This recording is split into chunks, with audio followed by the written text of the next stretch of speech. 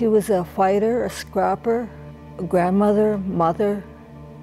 She loved her family, despite what um, history tried to tell us.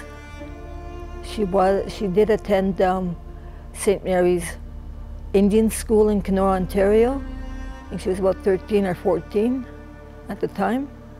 It's heartbreaking to, hear, to, to know that possibly of her history and that when she told me about her hair getting cut by the nuns and that and to see the tears in her eyes.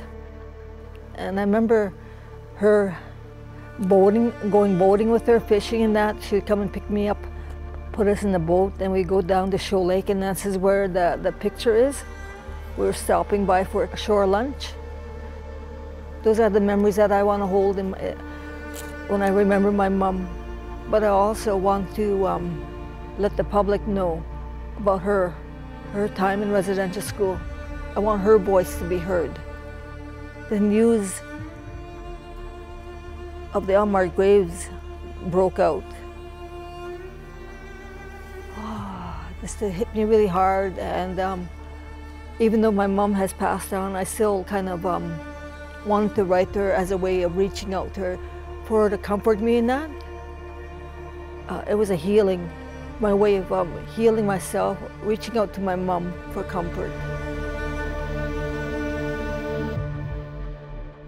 Mom, I can't hear your voice at the moment. I can't hear the softness of words that are comforting. Can't recall the softness of your face. How your hair used to curl in the hot summer days. Mom, I need to feel your presence. I'm feeling lost. I'm feeling angry, feeling a load of grief. Has the news of today of the 171 anomalies found at your former school deafened your presence to me, possibly little ones, cousins, aunties, uncles. No, little one, I have not forgotten you. I am dancing with the relatives found.